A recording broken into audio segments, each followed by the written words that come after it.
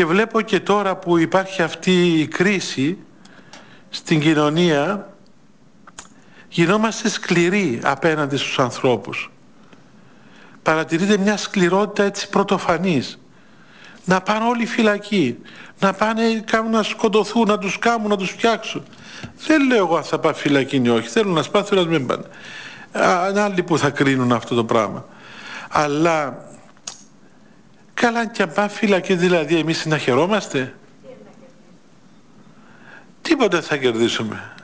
Θα τους ταΐζουμε μες στη φυλακή. Τουλάχιστον έξω μπορεί να δουλεύουν και να βγάλουν και ψωμί τους. Αν με τι άλλο.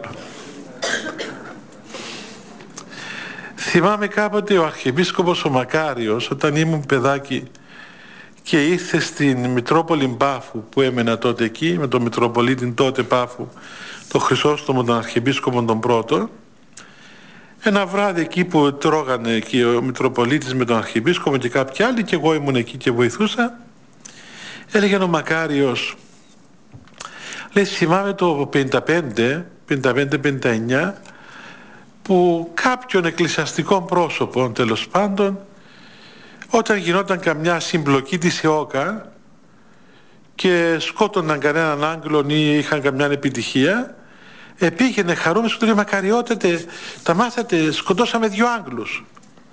Και το έλεγε έτσι με χαρά και για τα χεράκια του ας πούμε. Και έλεγε ο Μακάριος Παναγία μου λέει εγώ πιάνει την καρδία μου κάθε φορά που άκουγα τέτοιο πράγμα και διότι σκότωσαν κάποιους ανθρώπους και διότι ήξερα και τι συνέπειες θα έχει αυτό. Σκότωσε ένα θα σκοτώσουν δέκα. Αλλά και εκείνος που σκοτώθηκε ο καημένος και εκείνος άνθρωπος είναι μάνα τον εγέννησε γυναίκα θα έχει, παιδιά θα έχει γνωστούς θα έχει, άνθρωπος είναι. Τέλος πάντων δεν είναι όμορφο πράγμα η σκοτωμή. Αλλά ο άλλος εχαίρετον δεν είναι όμορφο πράγμα αυτή η σκληρότητα. Και παρακολουθώ και έτσι καμιά φορά στις συζητήσεις που βρίσκομαι που λέγονται διάφορα τώρα ο ένας ε, πιάσαν τον, άλλον κατηγορήσαν τον τον άλλον καλά του κάμαν έτσι πρέπει να το κάνω με μια χαρά δηλαδή.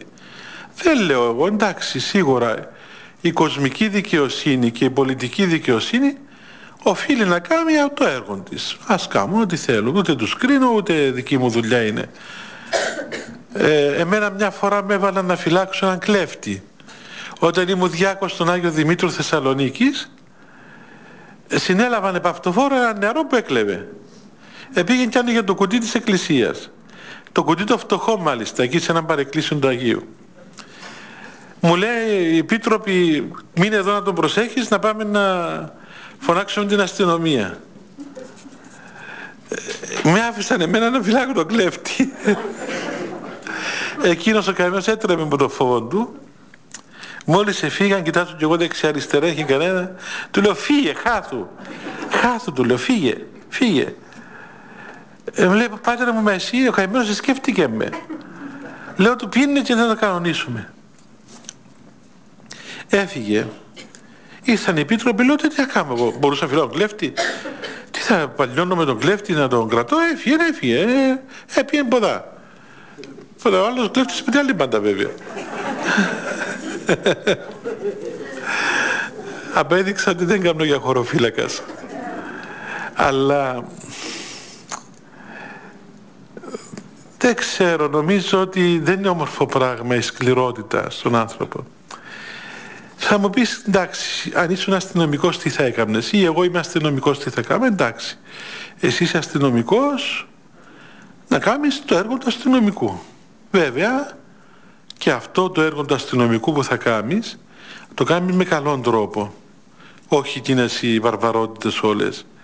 Όχι εκείνες οι σκληρότητες. Ας πούμε εντάξει, μέσα στα όρια τα λογικά, τα επιτρεπτά, τα ανθρώπινα, του σεβασμού και στον άλλον άνθρωπο. Όποιος και αν είναι, ό,τι και αν είναι, αν ήταν παιδί σου, αν ήταν γιος σου, θα τον κλωτσοκοπούσες μέσα στο πεζοδρόμιο; Και έστω και αν έκλεψε ή έκαμε έναν κακό. Αλλά φαίνεται ότι δυστυχώς γινόμαστε σκληροί άνθρωποι. Όταν υπάρχουν σκληρές εποχές όπως είναι η σημερινή εποχή που είναι σκληρά τα δεδομένα της εποχής μας σίγουρα. Και υπάρχουν άνθρωποι που έκαναν πράγματι μεγάλα λάθη. Και τραγικά λάθη και για τον τόπο και για τον κόσμο και για τον καθένα. Ασφαλώς είναι λάθη και ασφαλώς δεν τα δικαιολογούμε τα λάθη. Και ασφαλώς δεν είμαστε εμείς σε θέση να παράσχουμε αμνηστία στον ιονδήποτε άνθρωπο αλλά δεν είμαστε και εμείς σε θέση να δικάσουμε τον καθένα